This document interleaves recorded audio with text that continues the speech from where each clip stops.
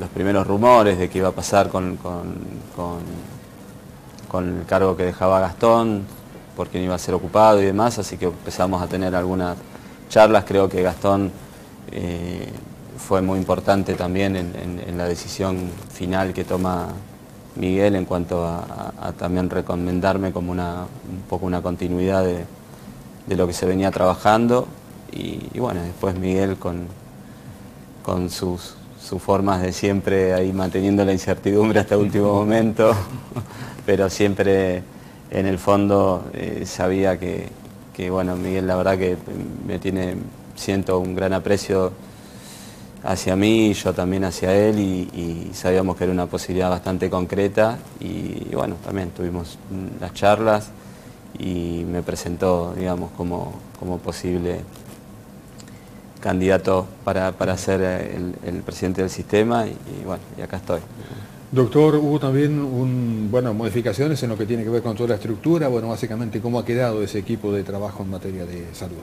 Bueno, tengo el, honor de que me acompañe en el equipo Luciano con toda la experiencia que tiene, que bueno, ya es eh, reconocido, ¿no? Eh, además todo su paso como, como, director nacional, que lo ha fortalecido un montón en, todo lo que tiene que ver con, con la gestión en salud, eh, así que para mí es un honor, lo hablamos siempre con Luciano, acá no, no, sentimos una diferencia, es un equipo, no hay, no hay primeros y segundos, y ni presidente ni vice, que fue un poco también lo que me pasó con Gastón, que, la verdad que funcionamos como, equipo y por eso también hablábamos hace un ratito antes del corte, la verdad que la sensación no es muy distinta a la que ya tenía, digamos, más allá de que entiendo que tengo responsabilidades eh, mayores y responsabilidades eh, hasta, hasta políticas mayores ¿no? de lo que por ahí tenía pero en el día a día, en el trabajo, y se trabaja tan en equipo en salud que uno,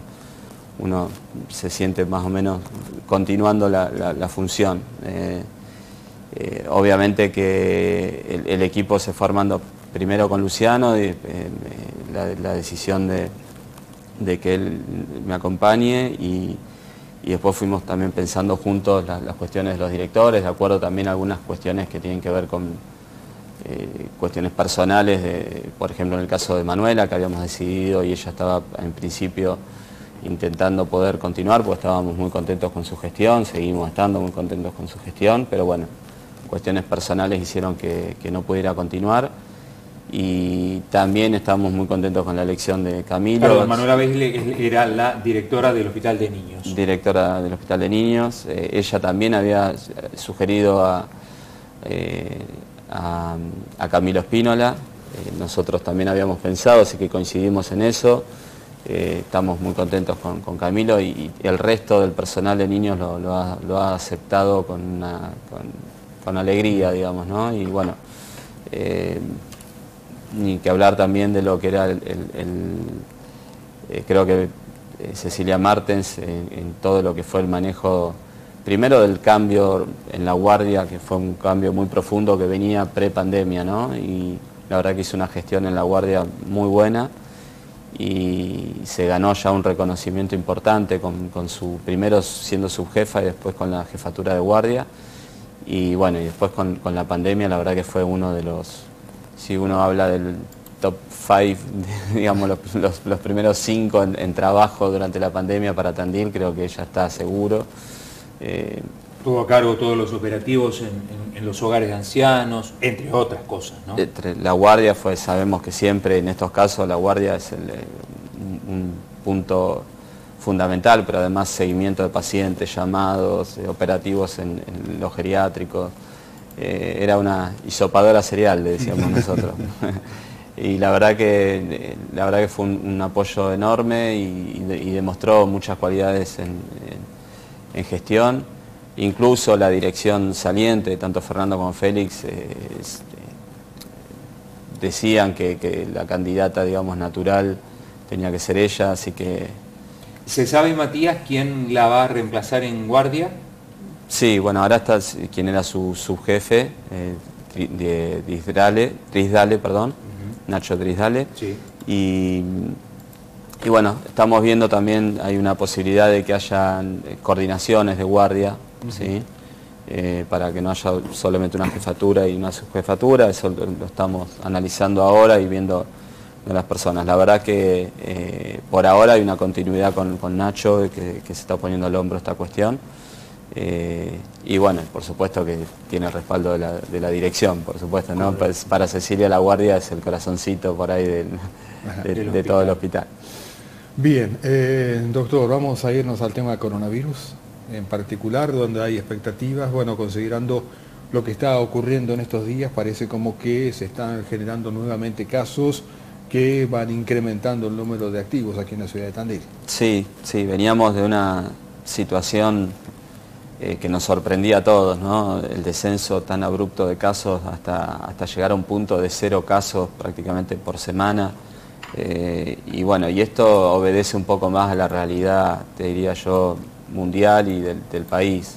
Eh, eh, es lógico que aparezcan casos, eh, particularmente en la ciudad hubo dos, situaciones, dos eventos que, se llevan por lo menos más de la mitad de los casos activos hoy, que fueron una fiesta, un evento masivo, digamos, una fiesta de egresados muy grande y un recital también.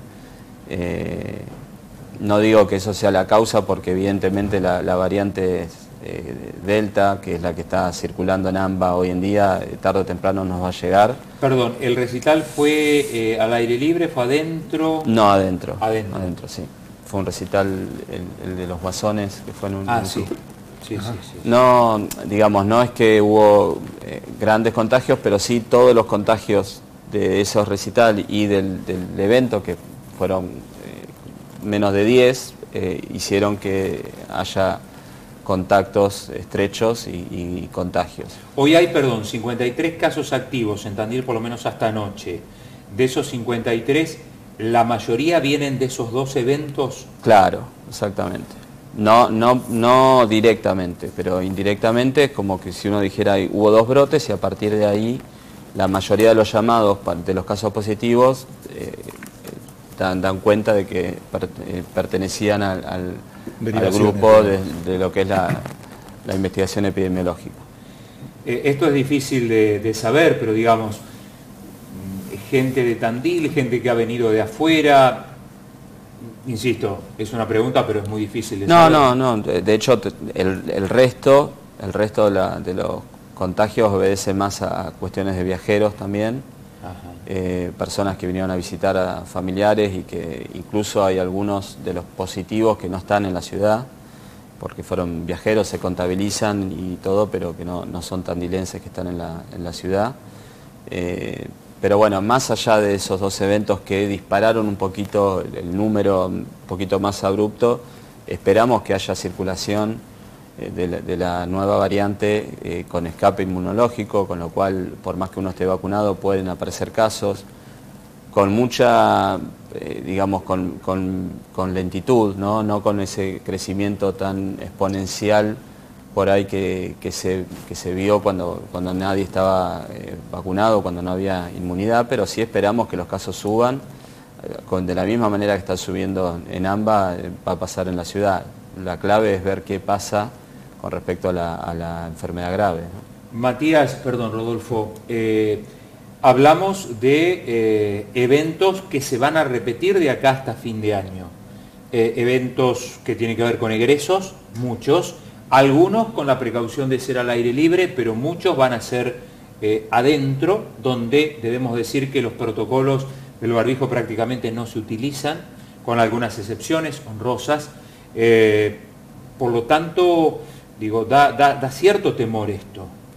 Sí, repito que en el evento masivo el riesgo existe, también existe en, un encuentro en un encuentro familiar, en un encuentro de trabajo, digamos, tenemos que, entender que la circulación viral implica esto, ¿no? que, estas cuestiones, el riesgo exista. Eh, Sí, uno está expectante de ver qué pasa con el nivel de vacunación. Tenemos que seguir insistiendo en que todos tengan el esquema completo. Los que no recibieron la segunda dosis, que, vayan inmediatamente, ahora está libre, está liberado la segunda dosis a mayores a, todos, en realidad mayores de tres años, que son los que, candidatos a vacunarse, todos tienen liberada la vacunación con segunda dosis. Eh, ya está libre la tercera dosis en los mayores de 70. Y la verdad que es, eh, implica la responsabilidad de todos para que podamos seguir teniendo una, vida social lo más parecida a la normalidad que queremos todos. Acá no, hay duda de que cuando uno habla de fiestas de egresados, cuando habla de reuniones, la verdad que todos queremos participar de esos eventos, son eventos sociales importantes para, los chicos, para, los familiares, para todos, y la verdad que la forma de hacerlo lo más seguro posible es que todos estemos vacunados. No implica que no, nos contagiemos, sí que la propagación sea más lenta, sí que, por lo menos con las variantes que ya conocemos, las variantes Delta, Lambda y todas las que, circulan en, AMBA y en nuestra ciudad, eh, sabemos que la vacunación protege, protege a la enfermedad grave. Veremos qué pasa con Omicron, pero todo hace pensar que también proteja la vacunación a, la enfermedad grave, así que es la herramienta más importante que tenemos hoy. Está el doctor Matías Tringler, presidente del Sistema Integrado de Salud. Eh, se pone en marcha lo que tiene que ver con el pase sanitario, esto de alguna manera eh, se prevé de alguna manera instrumentarlo aquí en la ciudad de Tandil, puede llegar a de bueno, servir de algo? Bueno, la, a ver, las sensaciones con el pase sanitario, por lo menos en lo personal, son un poco encontradas, ¿no? Porque uno le gustaría que, la, que, esto que se llama prevención activa, ¿no? Como, como puede ser tener una multa cuando uno no usa un casco, cuando no usa cinturón de seguridad, eh, estamos todos de acuerdo. Pasado el tiempo que, que esas cosas tienen que existir, pero la realidad es que a uno le gustaría que fuera una cuestión de, conciencia social, de conciencia de, lo importante que es la vacunación para, todos. Y esto del pase sanitario lleva, es como un, pasito más, ¿no? pero la verdad es que eh, es, una herramienta que es eficaz, aumenta la cantidad de vacunación y además protege, está protegiendo a las personas que ingresen a un, a un evento masivo eh, al, tener, al tener certeza de que tiene vacunación y protege a, los demás. Con lo cual yo tengo que decir que, estoy de acuerdo, el comité también lo ha analizado y, estamos de acuerdo en que es una, medida que ojalá no, no, existiera, que ojalá fuera una cuestión de aceptación de, las vacunas y, no, uno no tuviera que llegar a esto, pero lamentablemente eh, a veces es, necesario tomar estas medidas activas eh, y la verdad que, le va a venir bien, nos va a venir bien a todos, que, los que no estén vacunados, aunque el estímulo sea decir eh, quiero seguir yendo a eventos masivos y me voy a vacunar, porque hay muchos que, no tienen una, actitud antivacuna per se, sino que por ahí se olvidan o les da lo mismo o no le tienen miedo al COVID. bueno, esas personas se van a ir a vacunar y eso va a aumentar la, inmunidad de, rebaño y de todo. ¿Te quedas unos minutitos más con nosotros? Sí, por supuesto. Está el doctor Matías Tringler con nosotros, presidente del Sistema Integrado de Salud. Van quedando algunas preguntas que las haremos en el próximo bloque. Exactamente, y seguramente en el próximo bloque también hablaremos un poco de Omicron. El doctor Matías Tringler, presidente flamante del Sistema Integrado de Salud Pública de Tandil. Bueno, nos habíamos quedado aquí en la pausa comentando algo más que tiene que ver con el pase sanitario, Claudio. Exactamente, el tema de los controles, digamos, cómo, cómo se va a dar, cómo creen ustedes que va a ser este funcionamiento, Matías. Bueno, hasta ahora lo, que tenemos desde el punto de vista de, información de provincia oficial es que cada jurisdicción va a tener que hacerse cargo de estos controles. La verdad que la gente de habilitaciones en, todo lo que fue la, pandemia ha tenido una participación muy activa en, cuanto a hacer la, visita en los locales, en los aforos, la disposición de las mesas. Eh, eso ocurrió eh, durante todas las pandemias y las primeras restricciones que hubo. Eh, obviamente que uno no puede tener, garantizar control en la puerta de cada, desde el punto de vista municipal, de, cada, de cada evento masivo, de cada, de cada lugar de, encuentro, pero sí eh, estos controles van a existir y al obviamente al azar uno puede, puede establecer el pedido porque la forma de verificar la vacunación va a ser a través de aplicaciones en el celular.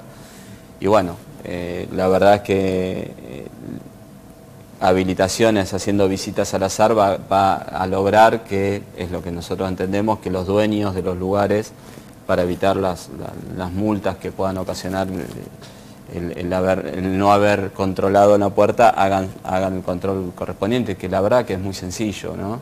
Hoy en día lo mostrás en el celular de manera muy, muy sencilla, eh, así que esperemos que haya responsabilidad de todos.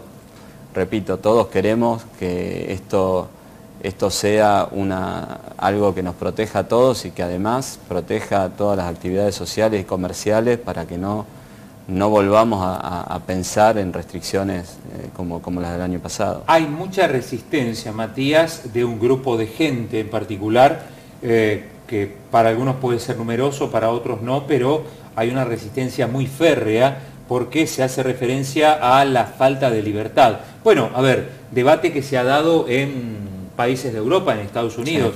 Digo, no es extraño que ocurra aquí también, obviamente, ¿no? No, no, por supuesto, y por eso comentaba lo que lo anterior, ¿no? Que uno tiene esa sensación un poquito contradictoria, pero eh, la verdad que estamos hablando de responsabilidad, de, donde empiezan, digamos, mi maestra de cuarto grado decía, tus derechos terminan donde empiezan los de los otros, ¿no? Y un poco, eh, un poco pasa esto en este, en este caso. Es como que me digan, y yo no tengo, por, a mí no, nadie me tiene que obligar a usar el cinturón de seguridad en el auto, es una decisión mía. Y relativamente, porque la verdad que si yo tengo un accidente o algo y, vos te lesionás mucho, también, también me estás afectando eh, mi vida y mi, situación. Y, con la vacuna pasa lo mismo, ¿no? Está bien, hay, hay gente que tiene su, su miedo, sus dudas y, bueno, estos grupos pequeños, por suerte en la ciudad de Tandil, que, se, definen como antivacuna, eh, entenderán que, es un poco una violación a sus derechos, pero la, realidad es que ponen en riesgo al resto de las personas también. Es polémico, yo lo entiendo eh, y demás, pero bueno, repito, es una herramienta, la vacunación es la principal herramienta que tenemos para para una pandemia, y la pandemia justamente es eso, afecta a toda la ciudadanía y a veces hay que, de última, si, si, si lo que está en juego es que no quieren vacunarse, bueno, también podrán cuidar al resto y no asistir a eventos masivos. Yo, no, es que uno le está privando ingreso a la salud o ingreso a, a la educación. ¿no? Eh, doctor Matías Tringler, usted habla de la importancia de la vacunación, bueno, lo hemos visto a nivel mundial, incluso se está destacando en estos días la importancia de la vacunación y más todavía con lo que está ocurriendo en Europa, con Omicron, la Organización Mundial de la Salud ha hablado que se viene un tsunami de contagios. ¿Cómo se observa todo esto sabiendo que es el diario del día después el que tenemos nosotros? Eh, sí, sabemos que bueno, los, primeros, los primeros datos de la variante Omicron hablan de que estar vacunado con dos dosis implica una protección cercana al, 30%, lo cual es baja. incluso con la tercera dosis no llegamos al 50% de, cuando, de eficacia, ¿no? cuando, cuando sabíamos que con la variante original, tanto la Sputnik como la Pfizer hablaban del 90%, como para que uno tenga dimensión de lo que va a pasar con Omicron. Eh, esperamos que lamentablemente uno es, tapar el, sol con el dedo, ¿no? O sea, en algún momento, por más controles que uno haga, eh, ya tenemos la experiencia de que el virus, el virus llega. Vamos a tener, así como ya tuvimos y tenemos seguramente circulación de Delta, vamos a tener en algún momento circulación de Omicron. Eh, lo que todavía está en materia de análisis, aunque los primeros estudios hablan, son alentadores, es que pareciera que la virulencia de la Omicron y a su vez la protección de las vacunas es importante para evitar la morbimortalidad grave, ¿no? la, morbilidad grave y la mortalidad, mejor dicho, eh, de esta variante, con lo cual seguimos insistiendo que la vacunación es la protección más importante para todos. Eh, un cortito, eh, horarios de hisopados que se está haciendo allí en el hospital. Seguimos con los mismos horarios de 8 a 16. Eh, bueno, eh, probablemente en los próximos días organicemos alguna cuestión del espacio físico para lograr, digamos, mayor comodidad tanto para la gente como para nuestro, nuestro personal. pero los horarios siguen siendo, la gente sigue manteniendo un nivel de hisopado interesante en la ciudad, eso es buenísimo. Eh, además de, esto se está sumando, si bien los sistemas públicos no lo están haciendo, pero sí la gente que viaja y demás, en los sistemas privados también hay un elevado número de, de, hisopados, con lo cual la vigilancia desde el punto de vista epidemiológico es, es interesante y eso es una buena, una buena situación. ¿no? Eh, así que ante la menor duda insistimos en testeo, insistimos en que se vacunen, que sigamos cuando estemos en ambientes cerrados protegiéndonos con el barbijo eh, y bueno, eh, esperemos que, que, todos sigan medianamente así. ¿no? ¿Horarios de sopado dijo de 8 a 16 en qué lugar? De 8 a 16 en Uriburu, digamos en, el polo sanitario, en lo que sería el hospital, Uriburu Norte, enfrente, digamos lo administrativo lo estamos haciendo en el, hospital, en, una oficina contenedor que, que está por la entrada de Uriburu Norte, por el portón, y el hisopado propiamente dicho con, la colaboración de la, Iglesia Santana, que nos ha ofrecido un lugar eh, siempre pensando en esto de que las personas con síntomas no estén cerca de la guardia o, cerca de, las demás personas. Eh, gracias Matías. Gracias a ustedes. Buen estreno de cargo. Bueno, muchas gracias. El doctor Matías Trinkler charlando con nosotros, presidente del Sistema Integrado de Salud.